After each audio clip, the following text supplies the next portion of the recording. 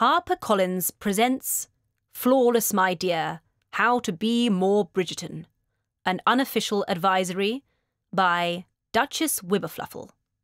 Maidservant support provided by Tamsin English and Anna Mrowiec. This book is dedicated to all the ladies out there who are so desperately in need of instruction. About the author.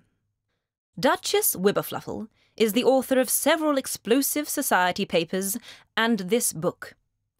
It is certain that her moniker is a pseudonym, which many an amateur sleuth has been attempting to uncover in a very half-hearted and ladylike way. Top contenders for the real Duchess Wibberfluffle include Bristol-based author Tamsin English, Her Royal Highness, the Duchess of Cornwall, Stephen Fry, and Kylie Jenner. Introduction You are cordially invited to your debut season. Dearest reader, First and foremost, may I congratulate you on picking up this high society handbook. You have excellent taste. This good judgment will stand you in good stead as you take your place in society during this, your opening season.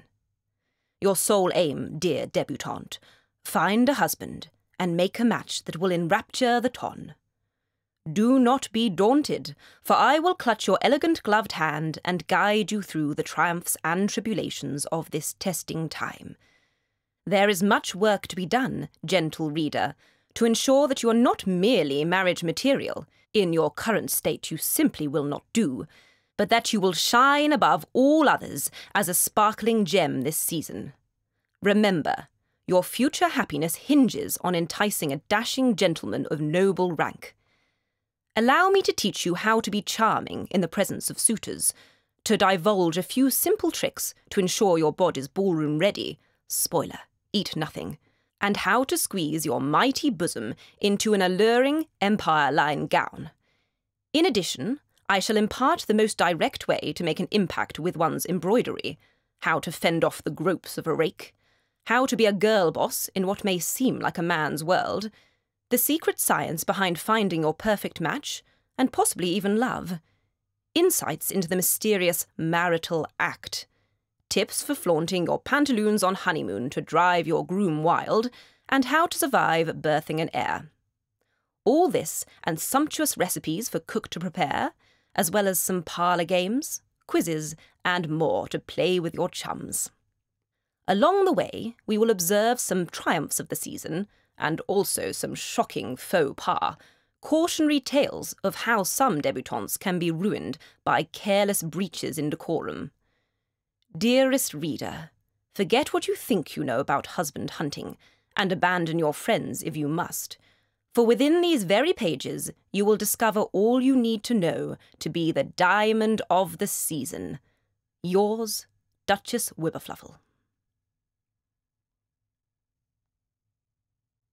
Chapter 1 Debutante Social Etiquette Speak little, spin well. Welcome to your first season, my dears. Is there anything more thrilling than making one's debut in society? Balls, gowns, gossip, and scandal, what a time you will have. But I must warn you, it's not all fun and games. Your future happiness hinges on the success of your demeanour, because one false move, a curtsy that's not quite low enough, your silk gloves falling below your elbows, saucy minx. Or, heaven forfend, you find yourself momentarily unchaperoned in the company of a gentleman, and your prospects on the marriage market will diminish faster than the Queen's tin of snuff. So, follow these fail-safe protocols, and not only will you survive your first season unscathed, you will become its most sparkling diamond – the incomparable debutante of the season. How to become the jewel of the season. Looking resplendent is non-negotiable. All eyes will be on you. There are detailed chapters in this guide dedicated to this, because such is the importance of your allure. While the otherwise repugnant Lord Berbrooke may favour a lady's accomplishments over beauty, We cannot expect such an enlightened view from every gentleman. Your beauty must appear nonchalant and effortless, though there will have been many hours of effort put into it, obviously. This is the time to increase the frequency of your bi monthly bathe to monthly. Break out the Castile soap and have your maid groom you into the prize filly you are. As a side note, the orientation of your cleavage is crucial, and its deliberate arrangement on any given evening will serve to impart coded messages to your suitors. Think no more of Miss Penelope Featherington's lacklustre approach to social occasions it is not enough to simply bear your first season. Instead, you must aim to thrive. Dreary defeatism just won't do. This must be your first and your last season. If you are yet to become engaged by 19, you are practically a spinster. There's no greater dejection than having to file out season after season on the shelf for all to see, then eventually be married off to some hairy, aging, gout ridden widower who has already impregnated his dish wench. Let us remember the three P's. Posture. If you can breathe comfortably, something is wrong. Your ribs and internal organs need urgent compression. Visit your modiste immediately. Poise. Remain enchanting and agreeable at all times. Stifle that yawn. Ignore the intruding petticoat digging into your undercarriage. A lady must appear serene, even in the most disagreeable of circumstances. Pomeranians! Winning favour with the sovereign's hounds is everything. Displease your queen, and it's a one stop train to Old Maid Town. The Gentleman. What is it, and how does one converse with it? I should inform my readers of a very helpful illustration that appears in the physical version of this book, of a dashing male with his most important features labelled that you should be aware of. These include a top hat, oft for secreting a sandwich or similar.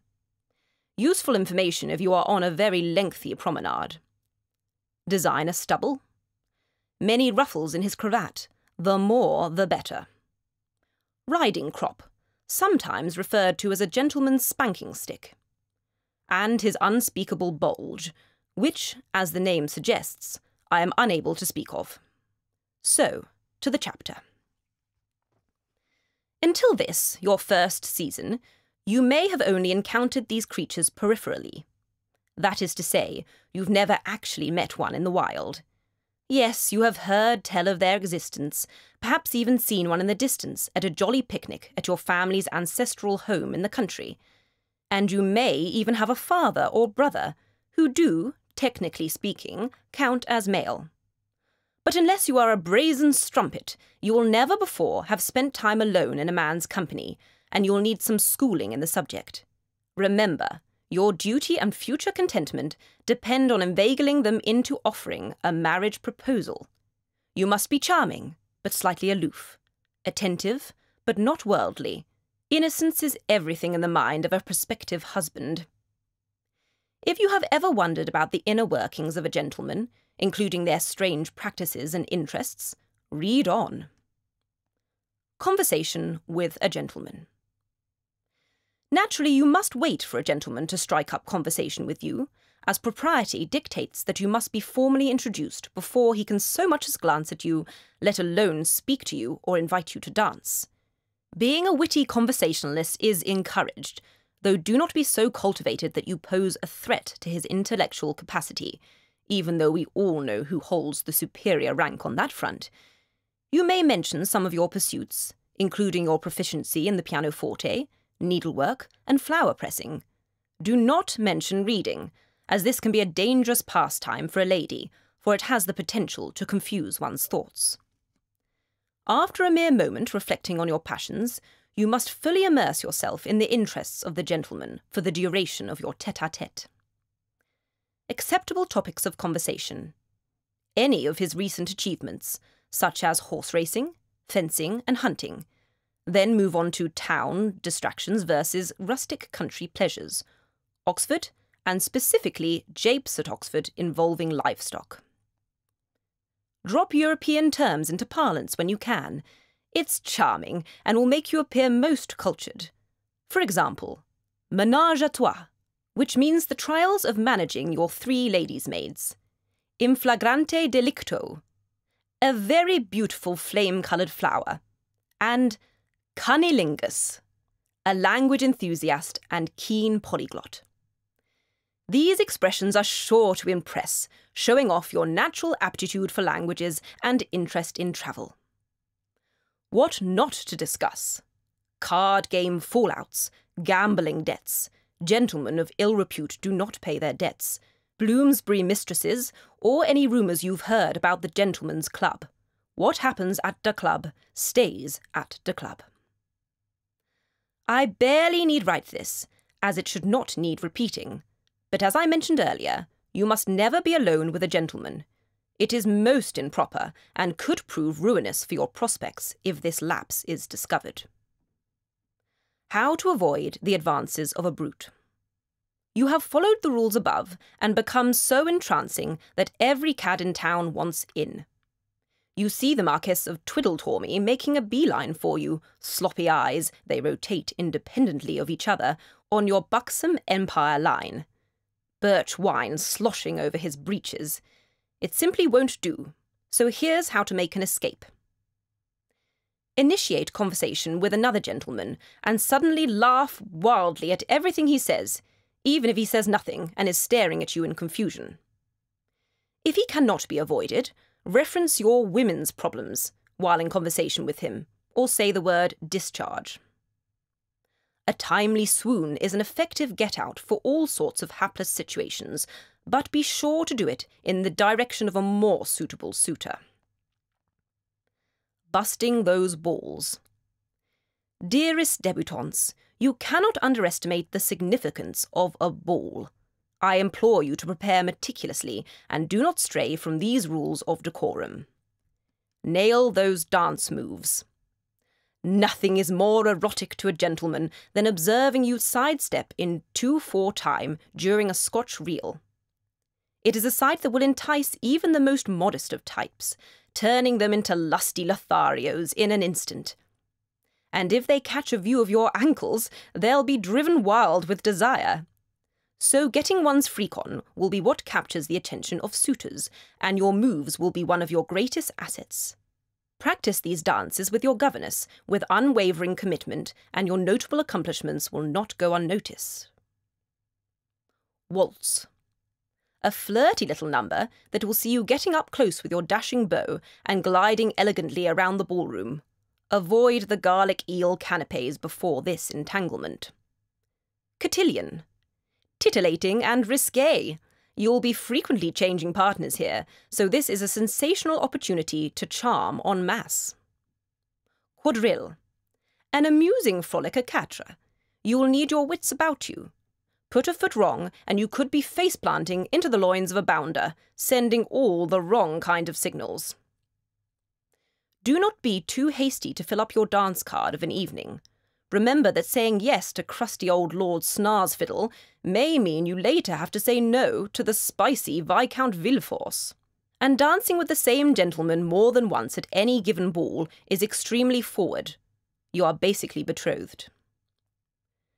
How many balls should one attend in a season? A delicate balance to strike. Too many, and you may look desperate. Too few, and you risk insulting the Queen with your apathy. And should one dance every dance? While the demanding nature of night long dancing demonstrates your health and vitality and boosts your natural predisposition to bearing heirs, there can be strategic work carried out from the sidelines too observe no fewer than two reels while quaffing an elderberry shrub, looking radiant and engaging in witty repartee with a stud of rank. The most perfect thing for you to do now is not to dance, but leave them wanting more. True fact. Always leave the party early. Pace yourself, for the season is long. Even the brightest stars may dim quickly. Who to set your sights on. In the run up to your first season, preparation is everything. At the end of this book, you will find a gentleman's catalogue for this season's most eligible bachelors. Of course, a love match is a desirable outcome. Provided, of course, the lineage of the coupling is not compromised. As Lady Bridgerton would attest, marrying one's dearest friend is favourable. Who doesn't want romance? Instant spark, and that tingling feeling in your gusset when your betrothed fastens your loose cuff button. But let's be pragmatic. While love may be a pleasant diversion, the priority of the union is. We hope you enjoyed this preview. To continue listening to this audiobook on Google Play Books, use the link in the video description.